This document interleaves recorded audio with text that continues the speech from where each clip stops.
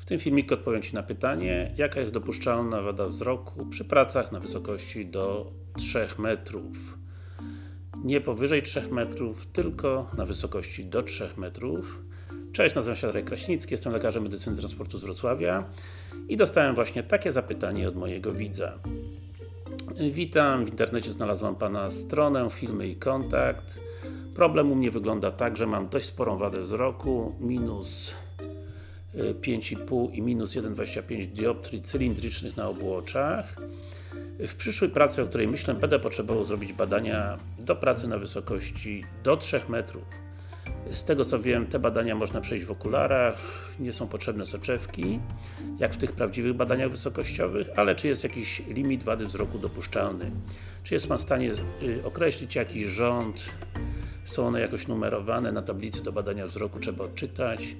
Żeby przejść tego badanie, no cieszę się, że jest Pan taką kontaktową i pomocną osobą. No dzięki tutaj za komplement, no ale do rzeczy.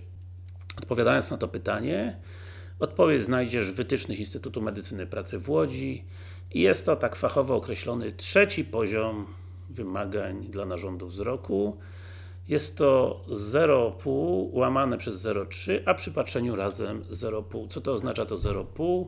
0,5 oznacza, że czytasz piąty rządek licząc od góry, 0,3 to jest trzeci rządek, ale patrząc razem musisz widzieć rządek y, piąty. 2, 3, o to jest rządek piąty. Nie znalazłem we wskazówkach jakiejś maksymalnej dopuszczalnej ilości dioptrii do korekcji, także można wnioskować, że jeżeli tylko ostrość wzroku masz na tym trzecim poziomie wymagań, to dopuszczalna korekcja wzroku jest bez ograniczeń. No teoretycznie możesz mieć minus 20, prawda, ale w praktyce to jest trochę mniej. Jest też druga opcja, jak nie masz zachowanego widzenia przestrzennego, czyli obuocznego, to powinieneś mieć maksymalną ostrość wzroku co najmniej na poziomie 0,5 z, y, z korekcją lub bez i również maksymalna korekcja w dioptrach nie jest określona, czyli jeżeli jesteś jednooczny, nie widzisz na jedno oczko, to musisz czytać ten rządek yy, piąty, ale niezależnie czy w korekcji, czy bez korekcji. Na tym kończę. Jak widzisz, normy dla prac wysokościowych do 3 metrów są nieco łagodniejsze niż dla tych prawdziwych badań wysokościowych. No, najważniejsze, że możesz nosić okulary, no, nie musisz mieć zachowanego widzenia obłocznego, czyli stereoskopowego. To jest ta główna różnica.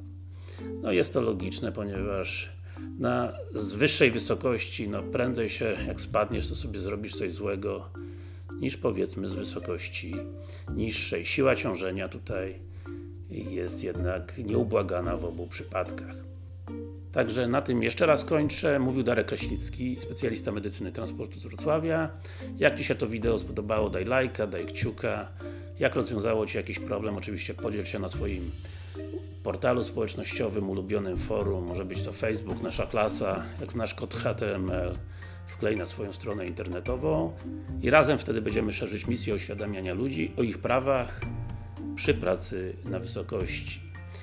Jak chcesz więcej takich materiałów, to już teraz subskrybuj mój kanał, Lekarz Medycyny Pracy, tutaj po prawej stronie, czy z góry, czy z dołu są linki subskrypcji. Będziesz wtedy pewien, że niczego nie ominiesz i dostaniesz zaraz po wgraniu przeze mnie kolejnego filmu. Jeszcze raz żegna Cię Darek Kraśnicki i do zobaczenia w moim kolejnym wideo.